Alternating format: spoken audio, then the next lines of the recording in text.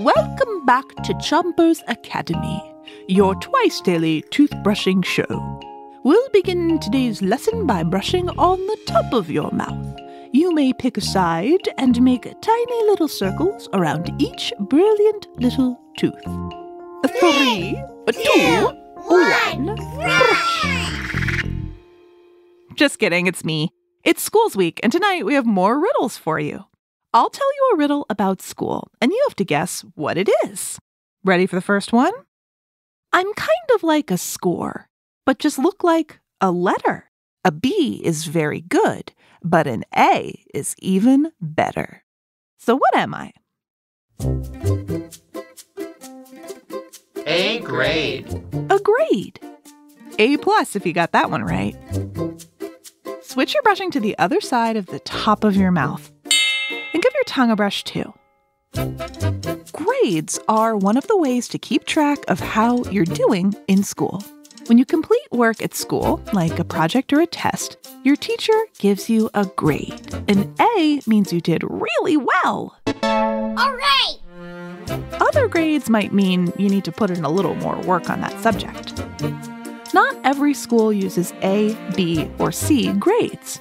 Some schools use numbers, and some schools just use words to talk about what students are doing well and what they can work on more. Switch your brushing to the bottom of your mouth and keep on brushing. Ready for your next riddle? I'm a helpful card, so you know how well you're learning. I hope things don't seem hard and you like the grades you're earning. What am I? A report card. A report card. Switch your brushing to the other side of the bottom of your mouth. And don't forget the molars in the way back. A report card is something your teacher gives your grown ups so they know all of your grades. Your teachers list all of your grades so that your grown up knows what subject you're really good at Hooray! and the ones where you need to keep practicing. I don't get it. I give you all an For making great tiny circles around each tooth.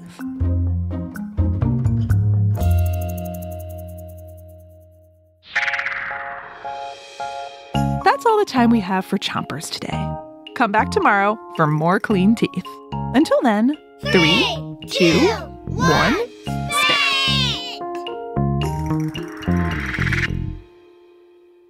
Chompers is a production of Gimlet Media.